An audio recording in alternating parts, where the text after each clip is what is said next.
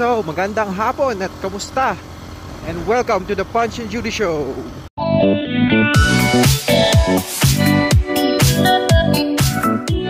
So, ngayong episode na to, pag-uusapan natin yung naging issue kila Tony Fowler. Ha, hindi, joke lang. Well, siguro nga mas mas maraming manonood kung tungkol sa issue nila Tony Fowler tsaka nila ex uh, King Badger yung pag-uusapan. Pero ngayon ang pag-uusapan natin is yung kung paano mo masusulit yung, yung one day off o one day VL or vacation leave. Which is actually mahirap gawin ano? May iba dyan one day off lang talaga pero gusto nilang maggala o kaya isang isang araw na leave lang yung na-approve sa nila pero gusto nilang magpakalayo-layo so eto yon eto yung tips kung paano nyo paano nyo magagawa yung gusto nyo in just under 24 hours ganun o just for this one whole day. So ang ang unang tip eh umalis agad kayo agad-agad you know. Get your gears going agad. Get going as soon as possible yon yon ganun kasi sa saglit lang yung oras nyo. Huwag nating masyadong sayangin yung oras. Kung alam niyo na yung pupuntahan nyo then yun magiging mabilis na lang yun. Tsaka kung hindi nyo naman alam yung pupuntahan nyo talagang gusto nyo lang maggala gusto nyo magpakalayo-layo. Siguro puntahan nyo na lang yung dati nyo nang napuntahan. Pero matagal nyo nang hindi napupuntahan. Alam nyo napunta mga siguro a year ago kaya basta matagal yung matagal nyo na napuntahan nyo namimiss nyo na yun mas, ma, ma, mapapadali yung biyahe nyo kasi una alam nyo na yung daan Okay, yung sunod na tip. Total, alam niyo na yung pupuntahan nyo. May idea na kayo kung saan pupunta. Siguro kung sa pamimili na lang din ng lugar na pupuntahan nyo. Siguro make sure na lang na at least it's an hour or two na, it's an hour or two na biyahe lang. Marami naman yan. Mula Manila, mula Quezon City, ang daming lugar na within an hour or two nandun ka na. Isa na to, Tanay, Taytay, Antipolo, Around Rizal actually malapit lang pag galing kang Quezon City. Lalo na kung nakamotor ka. Yung 1 hour and mm, or 2 hours mo na biyahe, layo na nang mararating mo niyan. Actually, ang Tagaytay is 2 hours lang. Kung umalis ka ng medyo maaga o madaling konti. 1 hour or 2 hours na biyahe lang. Ayaw mo naman sigurong i-spend yung buong araw mo ng puro biyahe lang. Kahit pa nakamotor ka lang o nakakotse ka man. So, syempre, mas maganda pa rin yung unless yun talaga yung goal mo mag mag-ride, 'di ba? Oo. So, hangga't maaari cut off niyo yung biyahe niyo, bawasan niyo yung time para marami pa kayong oras dun sa destination niyo. Yung sunod na tip siguro medyo sorry sa mga squad goals pero I would suggest kung isang araw lang talaga yung off nyo o yung leave na nakuha nyo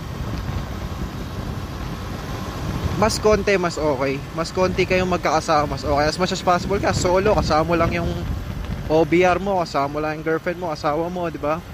Mas madali yun kasi aminin na natin Filipino time pag naghintayan yung mga yan kakain at kakain ng oras pag masyado kayong marami.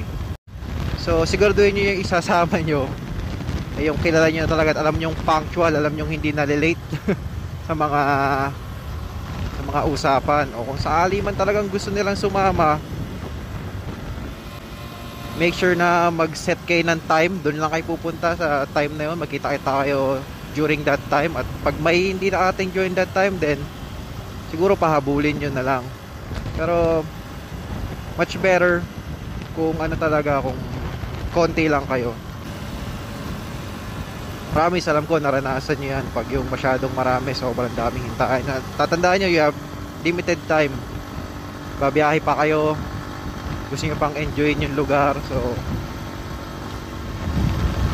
kailangan sulitin yung oras di ba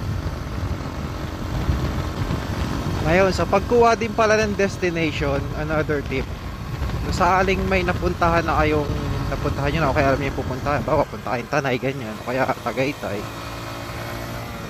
make sure to choose yung bago. Yung nga pala, bawa, papunta kayo na gusto yung puntahan yung luma nyo na. Pag may nadaanan kayong bago, try nyo kasi yung bago pag nakapunta ka sa bago parang it's all worth it eh, alam mo.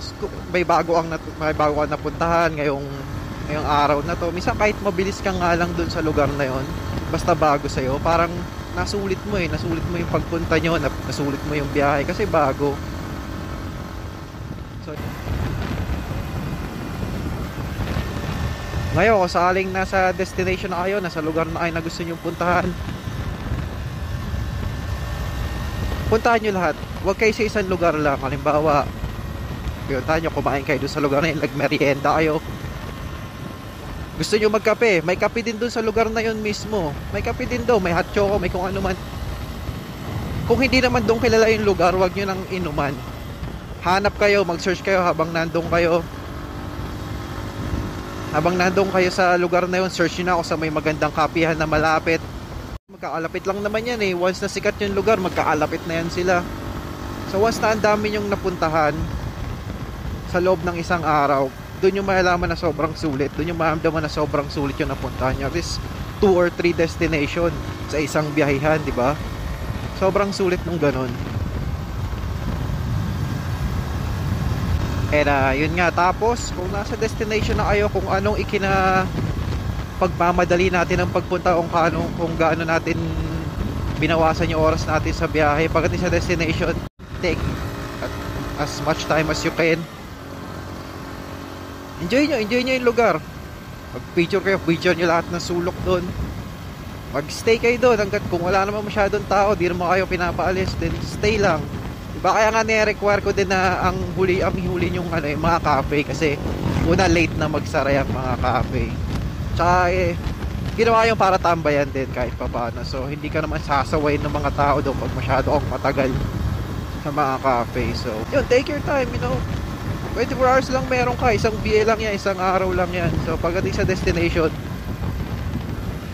yeah, stay as long as you want. Well, di naman as long, pero basta tagalan nyo. Pero mas matagal kung para sa ibinahe nyo, mamaya bumaya kayo dalawang oras. Nandun lang kayo ng 30 minutes, ba? Mukha kayo tanga.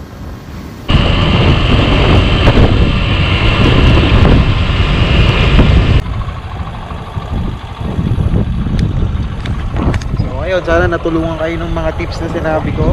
So, di porkit isang araw lang eh, wala na kayong magagawa. Sobra, sobrang dami kayong magagawa. Off nyo, isang araw na PL nyo. Marami, marami kayong magagawa. So, ayun, samahan nyo kami next time. Uh, mga gala namin sa mga kain. Again, ride safe, travel safe. Bye-bye.